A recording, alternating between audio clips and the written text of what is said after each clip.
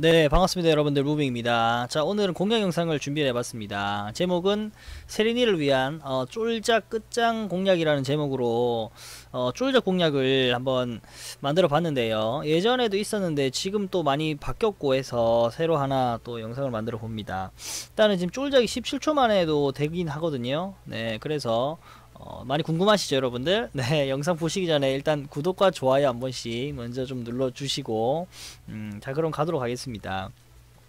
자 일단은 저는 제이브, 루리, 클란 이렇게 3대장을 이렇게 뽑아봤고요. 요 세 마리로 일단은 어, 가장 효율적으로 어떤 영지에서 어떻게 도는지 좋은지 이렇게 준비를 해봤으니까 음, 같이 보도록 하겠습니다. 일단은 일단 제 아이디인데 일단 먼저 스펙을 먼저 보여드려야겠죠? 스펙 먼저 보여드리도록 하겠습니다. 일단 룰입니다.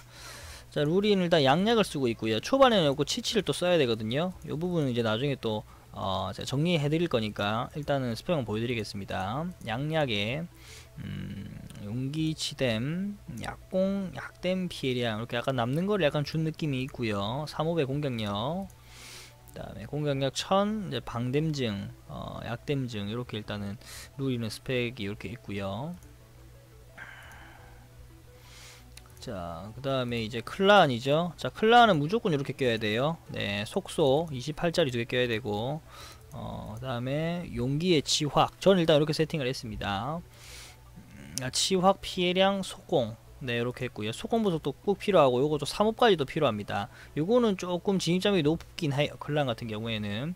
음, 일단 스펙 참고하시고. 어, 풀점에 다 했고 치확 공댐증 방댐증 이런 식으로 해봤습니다.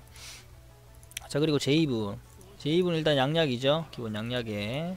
어, 요거는 꼭 안 껴도 돼요. 제이브 자체가 워낙 세기 때문에 좀 남아서 준 거고. 요것도 뭐 크게 뭐 음, 중요한 거 아닌데 일단 약공. 어, 약공을 해주고 그 다음 치댐 해주고 네 이런 식으로 해가지고 치댐증 만댐증 약댐증 이런 식으로 일단 해봤습니다. 일단은 이렇게 일단 스펙 여러분들 확인하시고 음, 아 풀스까지도 알려드릴게요. 자 풀스는 일단 이런 식으로 클란을 쓸 때는 이거 속공을 꼭 올리셔야 돼요. 그래서 이렇게 풀스 이렇게 해놨고 어, 루리로 이제 그냥 혼자 사쫄자 가실 분들 이거 내리셔도 무방, 무방합니다. 네. 자 2페이지 이렇게 내리고요. 3페이지는 이제 다 올리고요 네. 용 획득하실 때는 요거 이렇게 하는 게 좋은데 솔직히 체감이 그렇게 된다고 볼 수는 없습니다. 네네. 자 그리고 어, 마지막 페이지는 이렇게 올리고 130만 내리면 이렇게 되거든요. 쫄작 풀스까지 이렇게 알려드렸고 자 그러면 계속해서 이제 쫄작을 하면서 여러분들 어, 보여드리도록 하겠습니다. 네 보시죠.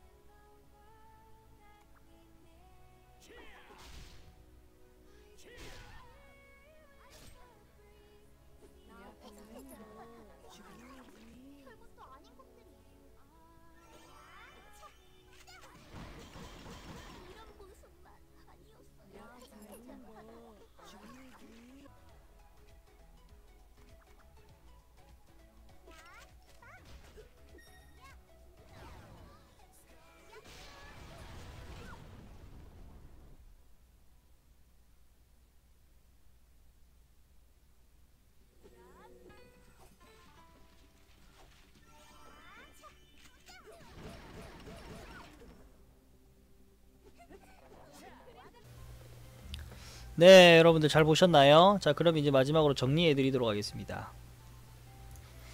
자, 세린이를 위한 쫄작 끝장 공략. 네.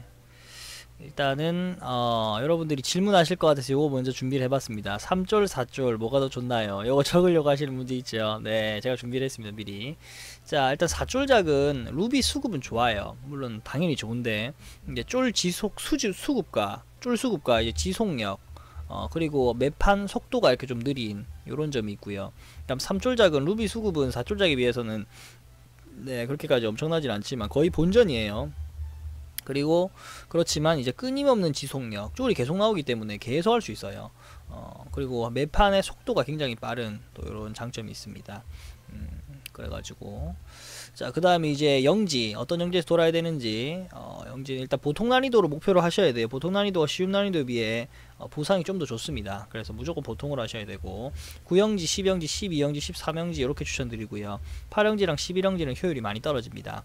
그래서 자 구형지는 9-1과 9-6 중에 어, 할 수 있는 곳 하시면 되고요. 여기서는 이제 우사왕 보석이랑 뭐 사왕 보석 이렇게 먹으러 가는데 솔직히 잘 안 나옵니다. 거의 재료 먹으러 간다고 생각하시면 되겠네요 자 10형지는 10-1과 10-2 중에 하시면 되고 여기서는 이제 장신구 뭐 불사의 반지 어, 대표적으로 불사의 반지를 먹으러 이렇게 가는 거죠 그 다음에 이제 12형지는 12-1 펫 어, 을 먹으러 가는데 최근에 또 신패시도 나왔고 어, 또 초보분들 같은 경우에는 이제 유라든지 리첼 이런 것들을 무조건 먹어야 돼요. 그래서 펫작은 저는 좀 많이 추천드립니다. 네, 12영지.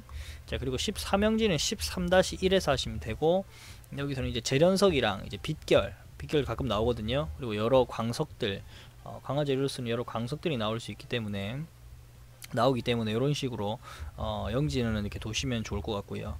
자 그리고 쫄작 영 추천 제가 아까 세 마리를 이렇게 해, 해놨죠. 음, 그래서 룰이 어, 일단 초반에 아무것도 없을 때는 치치 세팅과 치치 세팅을 해야 되는데 어, 저는 양약 세팅이죠. 일단 치치 세팅은 양약에 비해서 약간 낮은 스펙을 좀더 요구하고요. 잠재라든지 뭐 장신구, 영혼의 정수 이런 것들이 없을 때 극초반에 하시면은 속도는 느리지만 음, 그래도 루리로 쫄작을 할 수가 있습니다. 지치를 초반에 좀 세팅을 하셔야 되고 어 이제 양양 세팅 같은 경우에는 음 약간의 좀 스펙이 약간 좀 높죠. 현명단 무기 또꽤 어 끼신 분도 있거든요. 현명단 무기도 많이 끼고 그 다음에 잠재, 그 다음에 3옵션 등 이런 것들이 여유가 있을 때는 양약을 하셔야 되고 그리고 후반에는 무조건 양약으로 하시는 게 네, 좋아요. 네네. 그래서 양약으로 저는 좀 추천을 드리고 자 그리고 클란 클란 같은 경우는 진입 장비 좀 높습니다. 아까도 말했듯이 속속 드래곤 장비로 28, 28 두 개를 껴야 되고요. 그다음 용기 플러스 알파 끼는데 저는 약간 좀 치확, 치확을 좀 해놨거든요. 치확 안 해도 됩니다. 용기 뭐 피증해도 되고요. 어, 뭐 그런 식으로 자기 입맛에 맞게 끼면 되고 그 다음 3옵션은 꼭 필요해요 3옵션을 껴야지 평타 두 번에 3타가 터지면서 2타가 터지면서 다 죽거든요 네, 그래서 3옵 있어야 되고 자 그리고 어, 보석은 이제 피증, 속보, 뭐 기뎀 이렇게 있는데 어, 기뎀이나 치화 이렇게 있습니다. 이렇게 하시면 되겠고 어, 마지막으로 잠재는 치화, 방댐증, 공댐증 이런 식으로 해서 어, 세팅을 하시면 좋겠고요. 자, 그 다음에 제2부, 제2부는 이제 양야 그리고 치뎀, 음, 장신구. 나 보석은 약댐, 치뎀, 약공 이렇게 하고 잠재는 방댐증, 약댐증, 지댐증이나 뭐 만댐증 뭐 이런 식으로 해가지고 네 어, 하시면 좋습니다. 네 일단 요렇게까지 쫄자 용들과 여러가지 쫄자 공략들 많이 알아봤고요 네 마음에 드신 분들은 네 구독과 좋아요 한 번씩 눌러주시고요 네 여러가지 조금 자기가 스스로 하면서 어, 이렇게 스펙은 있지만 최소 스펙을 자기가 조금 알아보는 게 좋아요 음. 그러니까 여러 가지로 조금 돌아보시고 제 거 참고하셔가지고 하시면 좋을 것 같습니다. 우리 세린이 분들 어, 파이팅! 안녕!